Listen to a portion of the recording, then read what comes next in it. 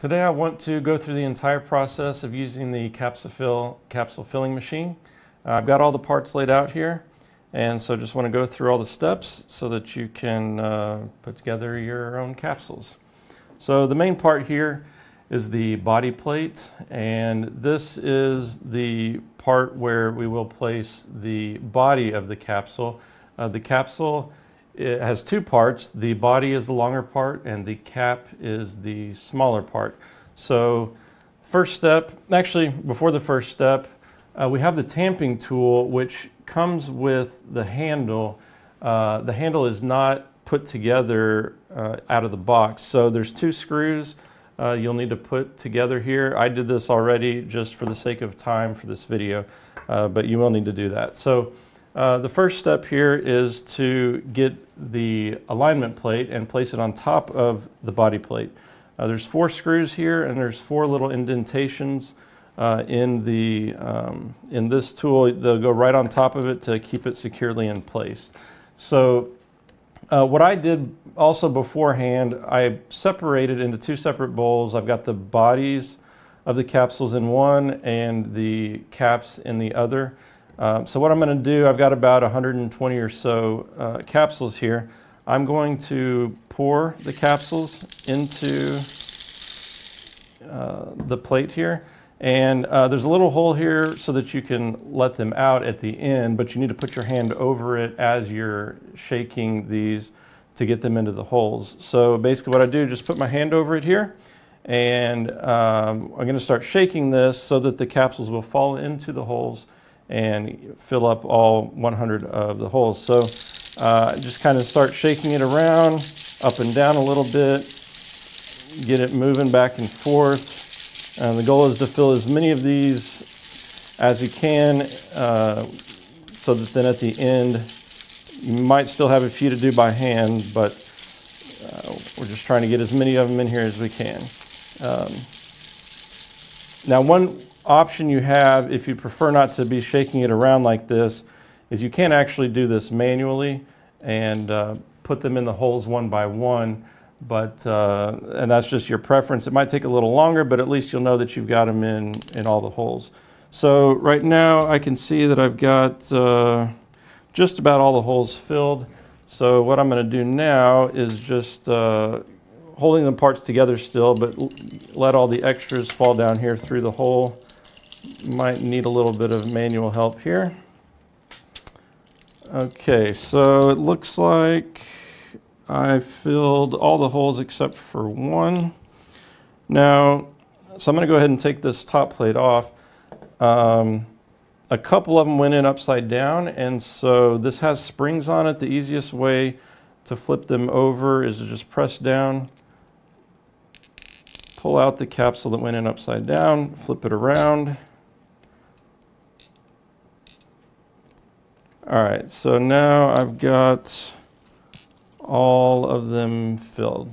Okay, so that's the first step here. Now, the next thing we need to do is to put the spill guard on top because our next step is to put our powder into uh, the bodies. So I have here cinnamon, and so today I'll be making cinnamon capsules. So I'm just going to put, you don't have to put an exact amount in the first time you do it. Uh, I'm just going to put uh, a good amount of powder in here to start out with. And I will then use the spreading tool right here to spread and just going to start spreading this into all of the capsules. Um,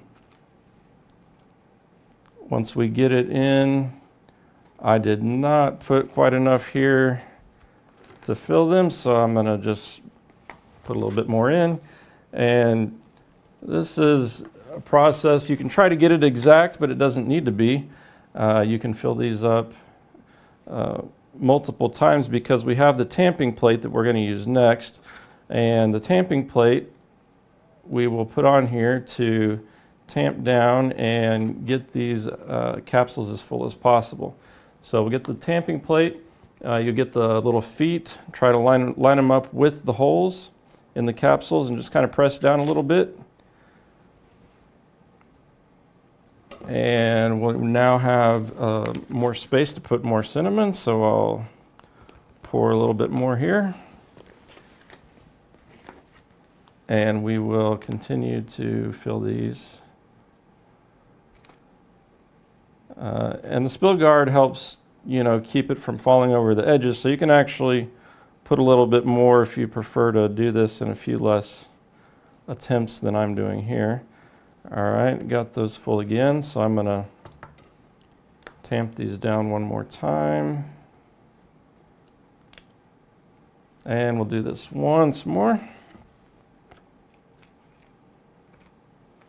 Okay, now this also has a little space here on the side as you can see so that we can pour the excess out.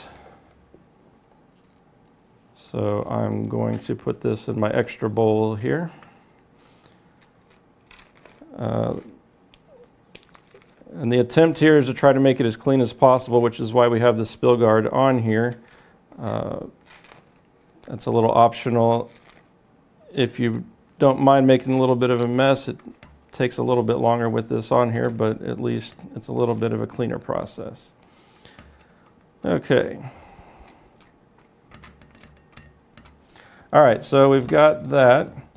So now we are done with the spill guard here. Um, there actually is a little bit more on here, so I'm going to clean this off as well. Just take a couple more seconds.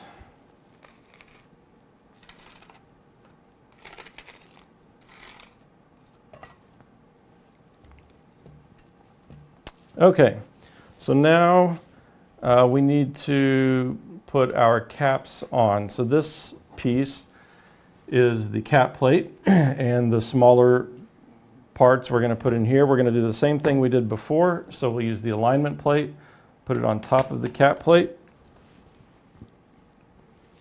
pour the caps in here,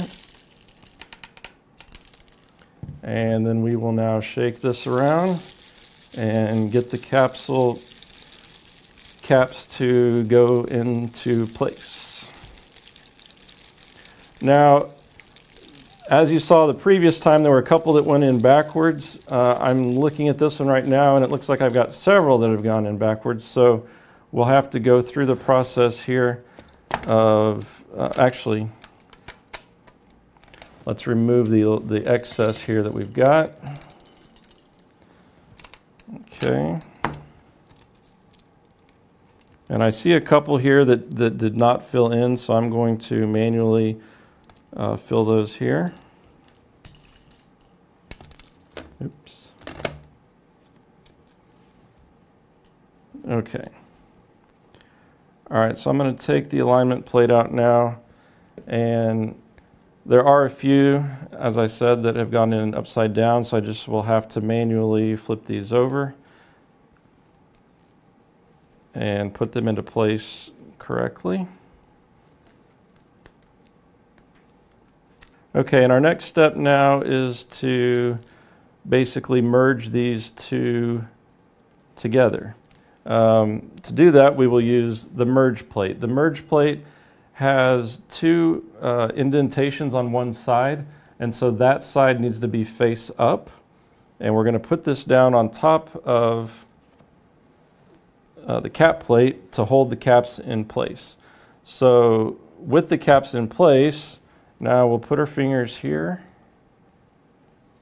flip this upside down, the merge plate keeps them in place, and we're going to set this directly on top of the body plate.